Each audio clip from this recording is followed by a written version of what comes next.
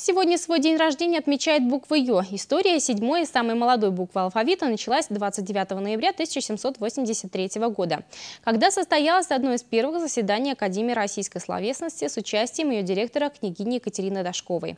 Она предложила заменить двухбуквенное обозначение звука и О в отечественной азбуке одной новой буквой.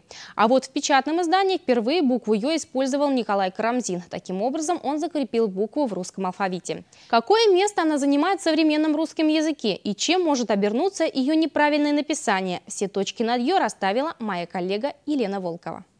Дело в том, что сегодня, 29 ноября, день рождения буквы «ё», седьмой буквы русского алфавита. Среди гимназистов, аплодирующих именинницы, четыре обладателя фамилии с буквой «Ё». Весной ребята будут сдавать ГИА, но уже сегодня учителя обращают особое внимание на заполнение ими экзаменационных бланков. Буква «Ё» очень опасная в этом смысле, потому что компьютер запрограммирован так, что он должен прочитать именно в бланке регистрации эти две точечки как э, обязательные условия заполнения этого важного очень документа. Если э, этой точки, двух точек, простите, не будет в бланках регистрации единого государственного экзамена, то ребенок может поплатиться просто э, своим сертификатом и, собственно, затянется сам процесс пересмотра э, всех вот этих вот документов и э, сдачи экзамена по русскому языку. Карина, в твоей фамилии есть буква Ё. Вот скажи, а ты всегда во всех случаях проставляешь точки над ней? Да, во всех, потому что если я буду писать Е, то будет не Пушкарева, а Пушкарева. И это будет, ну, как другой смысл, и потеряет, ну, будет печальный вид, и во всех случаях я всегда пишу букву Ё.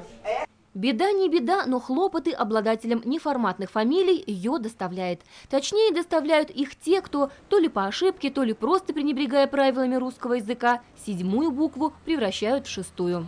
Вообще первый раз я столкнулась с потерей э, точек над буквой Ё, когда мой супруг в 45 лет, как и положено, менял паспорт.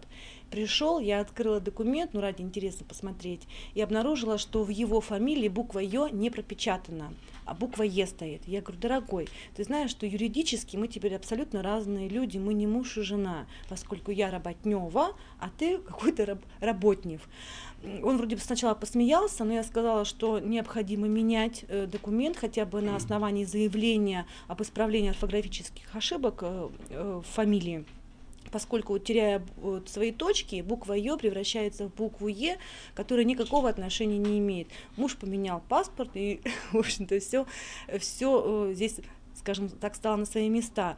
Потом мне самой пришлось столкнуться со сменой документов, когда я заканчивала институт, и мне выдали диплом, опять-таки, не прописав моей фамилии точечки над буквой Ё. Ну, я, получив диплом журналиста, как телевизионщик, который когда-то делал репортаж о букве Ё, я, конечно, не могла не обратить внимания, что в моей фамилии э, над буковкой Ё точки не стоят. Я написала заявление в деканат, и мне документы поменяли.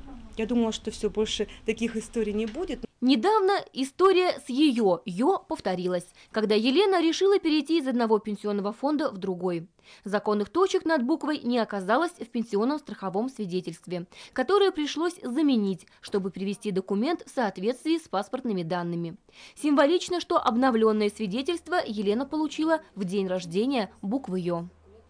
Вручаем новое страховое свидетельство пенсионное обязательного паспорт. страхования, ваш паспорт с замененной буквой Е на Ё.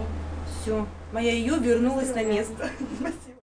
В документах, предоставляемых гражданином для назначения пенсии, а именно паспорт, трудовая книжка, свидетельство обязательного пенсионного страхования, высока цена каждой буквы.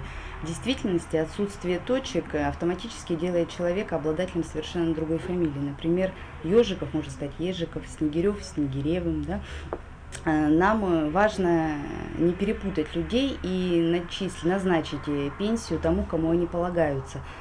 Нужно помнить, что седьмую букву алфавита никто не отменял.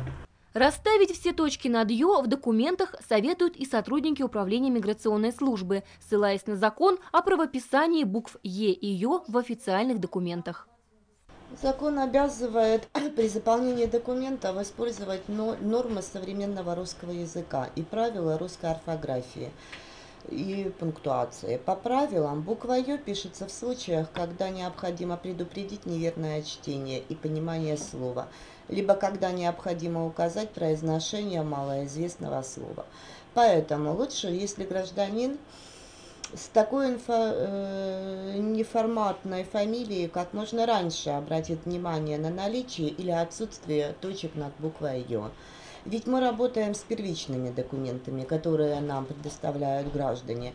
Если, э, к примеру, в свидетельстве о рождении, в фамилии, в имени или в отчестве стоит буква Ё, естественно, мы оформляем паспорт с буквой Ё. Если стоять не будет, то паспорт оформляется без буквы Ё, а пишется буква Е. Именно такая буковка печатается в документе, которая отображена в свидетельстве о рождении. Споры о нужности буквы «ё» ведутся и на международных конгрессах исследователей русского языка, и в повседневной жизни. Специалисты отмечают, пренебрежение буквой «ё» ведет к появлению устойчивых ошибок в речи, когда многие говорят «новорожденный» вместо «новорожденный», «маневры» вместо правильного «маневры», «свекла» вместо «свекла», «осужденный» вместо «осужденный».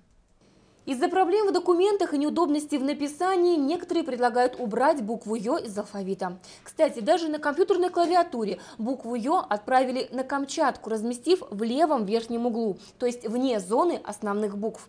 Но есть и те, кто, пытаясь сохранить наше «ё», объединяются в общество по защите самой молодой буквы и даже устанавливают ей памятники. Ныне буква содержится в более чем 16 тысячах слов, включая географические названия и фамилии. Этот хвостатый прохожий не имеет ни свидетельства о рождении, ни паспорта. Но при любом прочтении, по законам русского языка, он пес, а не пес. Елена Волкова, Григорий Волков, Эдуард Захаров. Программа «Время местное».